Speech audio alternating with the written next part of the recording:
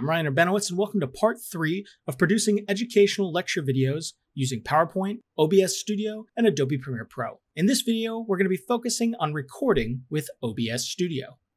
Here's a quick review of the videos included in this series. In our last video, we discussed hardware and software for recording and editing. So again, here's an overview of the entire production pipeline. The next set of slides are going to focus just on recording using OBS Studio and everything that goes into it. I'm going to focus on my own production pipeline and the steps that I take. So in this case, we're going to use OBS Studio to set up capturing our different input sources. And then the only additional processing step we're going to add is to remove the background in our webcam. However, you could also set up OBS Studio to adjust your audio quality before you start recording. All right, so first up, how do we install OBS Studio? You can download the software using this link. Also, if you want to remove the background in your webcam footage, you'll want to download this additional plugin for OBS Studio. This is something I recommend you install, whether or not you plan to use a green screen. For specific instructions on downloading and installing this plugin, please check out this other YouTube video. Now let's take a high level look at all the elements involved in recording in OBS Studio. I'm going to assume you've already installed OBS Studio as well as the background removal plugin. Now with OBS Studio open, you're going to create a new profile. This allows you to create custom capture settings for different kinds of projects. Here you're going to be setting up the capture resolution as well as the frames per second of your canvas or the backdrop on which you're recording. Next, you're going to be adding your sources, in this case, PowerPoint, your webcam, and a microphone. Next, you're going to arrange your video feeds, in this case, PowerPoint and your webcam, on your canvas. Next, you're going to check your microphone and audio mixer settings. Then you'll be adding your background removal filter to your webcam source. This is optional, but again, I recommend it. And lastly, perform a recording test. This is akin to the old adage, measure twice, cut once. The thing you want to avoid when using OBS Studio is to think you're all set up and then dive into recording an hour long presentation, only to then look at the output and see that something was wrong, like perhaps your microphone wasn't turned on, or the video resolution you got out the other end was much lower than you expected. Next, I'm going to walk through these overview steps in more detail. Assuming you've already downloaded and installed OBS, you're going to open OBS and first create a new profile. Here's what OBS Studio looks like opened on your desktop. Up at the top, under the Profile tab, you're going to select New. Then you'll name your profile. And you'll have to indicate the usage information. In this case, we're recording, not streaming, so we want to optimize for recording. Let me take a quick second to talk about the base canvas resolution layout we need to make sure that OBS is set up correctly to be able to capture our PowerPoint and webcam sources separately. Let's talk about some possible options. For my videos, I'm using this setup with a base canvas resolution of 2400 by 1080p. This is big enough to include screen capturing my PowerPoint presentation at 1920 by 1080p, as well as my webcam, which I've scaled down to 480 by 270. I chose this setup to preserve all of the PowerPoint slide, and this will give me control of where and when I place my webcam footage later on in editing. And I've also chosen to scale down my webcam footage because at no point in my talks do I intend for my webcam footage to take up the full screen. However, you could also set up your OBS Studio base canvas with a simpler 1920 by 1080p format and simply permanently overlay your webcam in some corner of your PowerPoint presentation. This approach is simpler and is going to require less of your CPU. However, you can't move or manipulate your webcam footage when you get to editing. Then we have the beefiest option that I'm going to talk about. Here, our base canvas is being set to 3840 by 1080p. And this is because we're putting our PowerPoint slide at 1920 by 1080 next to a full webcam feed, also at 1920 by 1080p.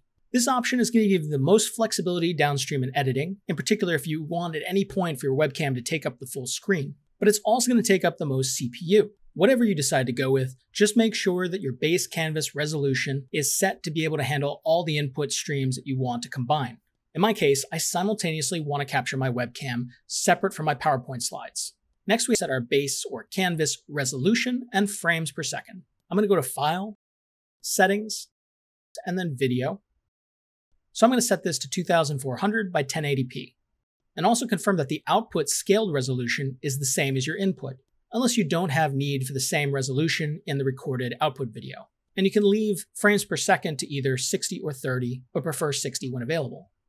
Next, I'm going to go to File, Settings, Output, and set my encoder to Software 264. You may not need to do this if you have a powerful enough computer, but I found that it helps reduce the CPU requirements when you're recording in OBS Studio. And I also want to set my recording format to MP4. Now we've finished setting up our profile. All right, so next let's start looking at how to add sources to OBS Studio. In the software, under the Sources tab, you're going to click the plus sign to add each source individually. For now, let's choose Audio Input Capture. And then we're going to give this source a name to stay organized. And then you're going to select that audio device based on the options available on your computer. In my case, I'm picking my Yeti X microphone. For our next source, we're going to add our webcam. So again, I'm going to hit the plus sign and I'm going to pick Video Capture Device. Again, I'm going to give it a name. And I'm going to select the desired device for my computer. In this case, I'm choosing my C99 ProStream webcam. Now we come to adding our PowerPoint source. But you have a couple of options for adding your PowerPoint slides. This is my preferred approach, what's been working best for me so far. Notably, this approach is going to be more difficult if you only have one monitor, or you're working on a laptop. Again, you're going to click the plus sign on the Sources tab. So specifically, I'm going to choose Display Capture. Again, I'm going to give this source a name, and then I'm going to pick from the available displays that my computer are connected to. In this case, I'm going to pick my Display 1, which is my primary monitor. At this point, you have the option to choose whether you're going to capture your cursor. This is completely up to you. In my case, I don't capture my cursor, and I rely on choosing the laser pointer in PowerPoint whenever I want to point something out on my slide. Personally, I just think that looks a little bit more professional. However, if that first option isn't working for you, you can also choose window capture. However, I've found this approach to not work as well when I'm setting up my PowerPoint presentation capture. Using this approach, you're going to give your source a name again, then you're going to open up your PowerPoint presentation on your PC, and then in OBS under Window, you're going to pick the option starting with PowerPoint.exe. Basically, here, you're selecting the PowerPoint window on your computer, however it's been sized, to be capturing your PowerPoint slides. Next, as before, you can decide whether or not you want to capture your cursor. For more information on OBS Studio's source setup, check out this video. Okay, so now you've got your sources added to OBS Studio. Next, we want to arrange our video feeds on the canvas. If, like me, you want to separate your PowerPoint content from your webcam, you're going to move and stretch the respective boxes for those two sources to fit on your canvas. So in my case, I've moved my PowerPoint slides to take up the left side of my OBS canvas and my webcam to take up the bottom right hand corner. If you've decided to overlay your webcam on top of your PowerPoint slides, you can arrange your canvas like this. Next, we want to check our audio mixer and make sure that our microphone settings look good. So here, under the Audio Mixer tab, Take a moment to make sure that all audio inputs other than your target microphone are muted. So in my case, the only thing I want to capture is my Yeti X. Also, if your microphone has different polar pattern options, as I have on my Yeti X, set that polar pattern to cardioid. This is just going to pick up sound from directly in front of the microphone. This is going to help to reduce some of the background noise that could be picked up. The last very important thing to consider is the adjustment of your microphone's gain. You can set your microphone's gain, potentially by a dial on the microphone itself, which is the case on my Yeti X, or it might be on some other hardware that you're interfacing, or it could be a digital knob with software associated with your microphone. Once you've found the way to set your gain, the next question is how do you set it? This gets a little bit trickier, and the short answer is to set it as high as possible, but when you're speaking, at your loudest moments that you're going to be talking, you want to check that the volume does not go higher than somewhere between negative 10 and negative 6 decibels. Another way of putting this is that you want to set it so that your volume indicator stays almost always in the green or yellow, but never or almost never in the red. If your audio reaches zero decibels at any point, then you're going to have clipping and distortion of your audio in your final product. And unfortunately, this is something you cannot process out in the editing phase. So it's super important to get this right ahead of time. If you want to learn more about setting up your microphone or adjusting the settings on your microphone, check out this video on setting your microphone gain, or if you happen to have a Blue Yeti X, I found this video here that was also helpful. Now let's talk a little bit more about our webcam source and what options we can have for our background. It's about this point that you should be deciding what you want your background to look like in your final video product. In my setup, this is my original video source. You can see that I have a pretty simple green cloth hanging behind me that I'm using as a green screen. In your final product, if you want, you can certainly have your entire webcam rectangle appear somewhere on your PowerPoint slides. You might also prefer something like a background blur, or you can insert a virtual background. And this is something you can actually set up in OBS Studio prior to recording. Further, if you've set up a green screen, it's something you can add later in editing when we're using Premiere Pro. So I recommend that when you're setting up your webcam, you use the plugin I mentioned to remove the background and give you the most flexibility downstream when you go to edit in Premiere Pro. In my case, this is what the background looks like after I've used the background removal in OBS Studio. I find this option great because you can still add a virtual background later, as I mentioned, but now when you get to Premiere Pro, it can have any shape, size, color, pattern, or even video behind you. Or like I'm gonna do, you can also completely remove the background to minimize the amount of space that your camera footage is taking up on your slides. So now let me show you how to set up the background removal in OBS Studio.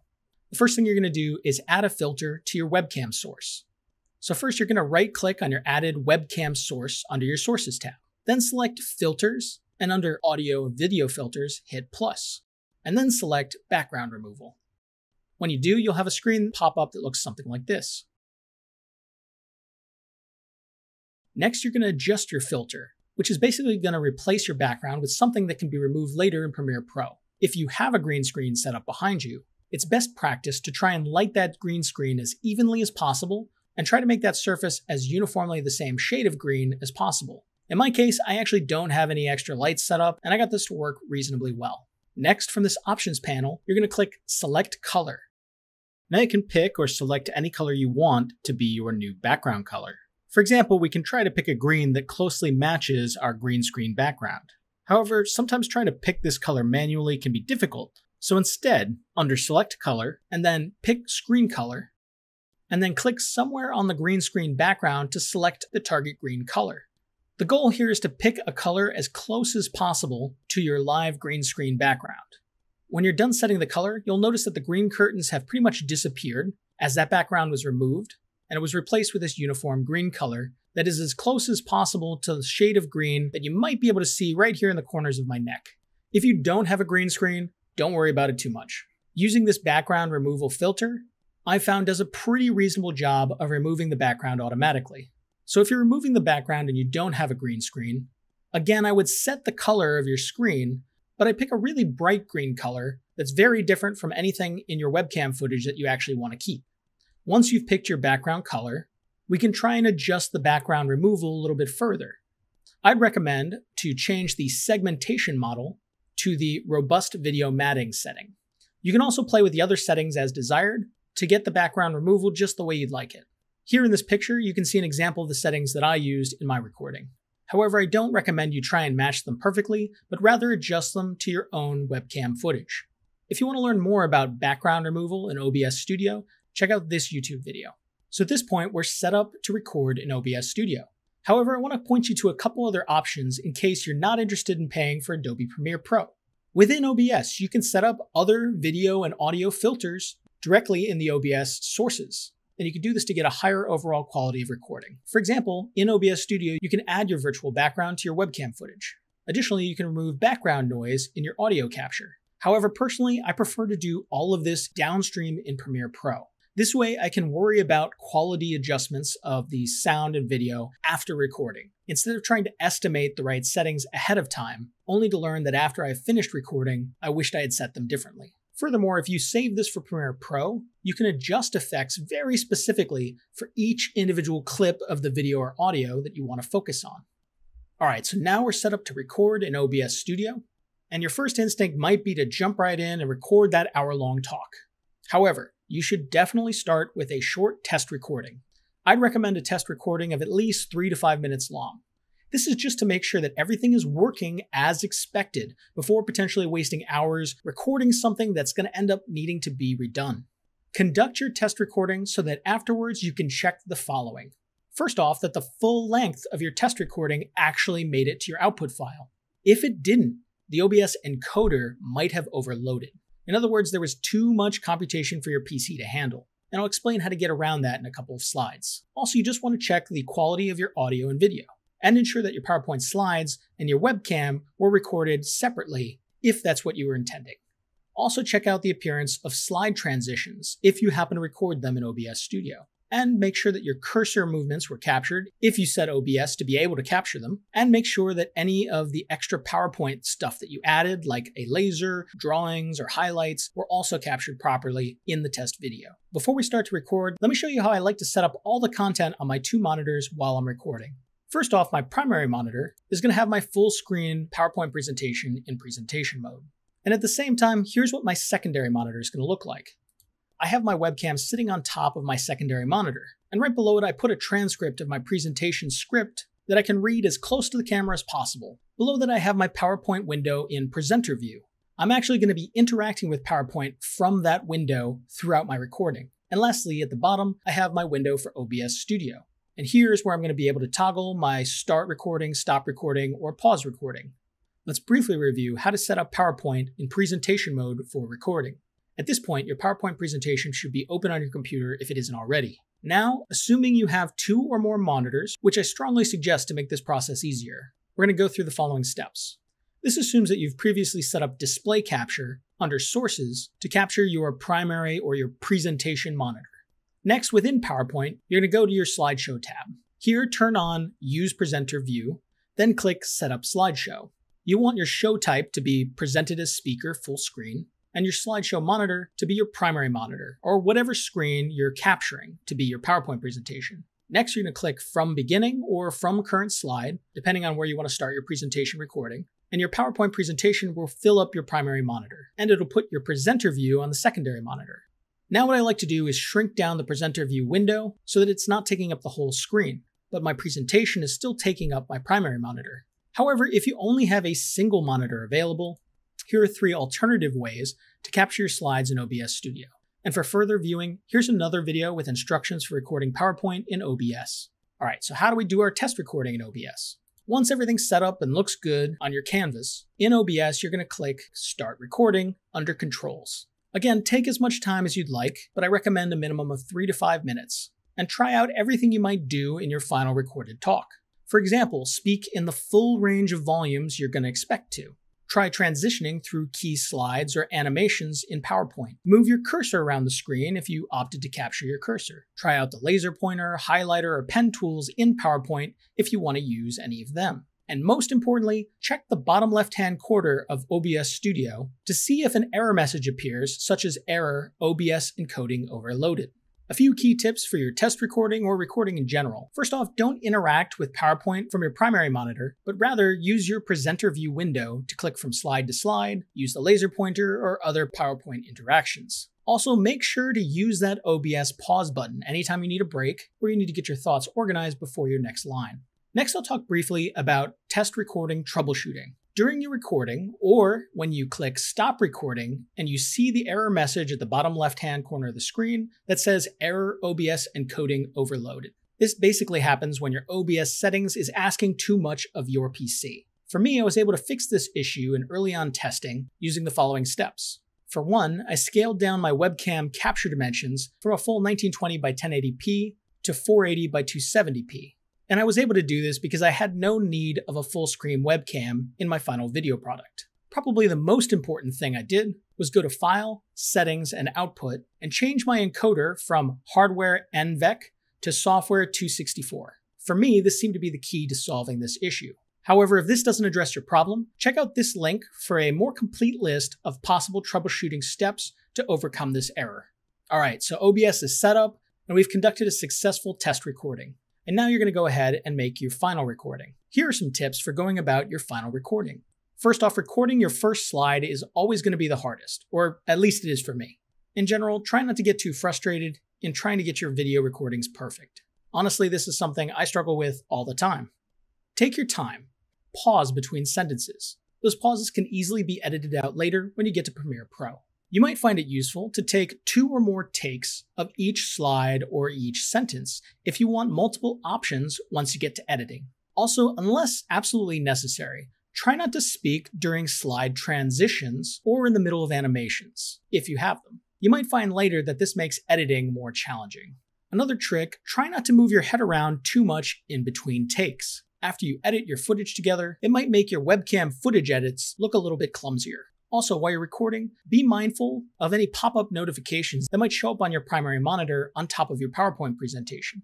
Usually, there's a way to edit this out in Premiere Pro, but it's just an extra hassle that is useful to avoid. And lastly, try to record your presentation during the day, or in other words, when there's good, uniform lighting in your recording space. Otherwise, when you transition from one slide to the next and one was darker and then the next brighter, this can dramatically change the lighting on your face, making your webcam footage less consistent from scene to scene.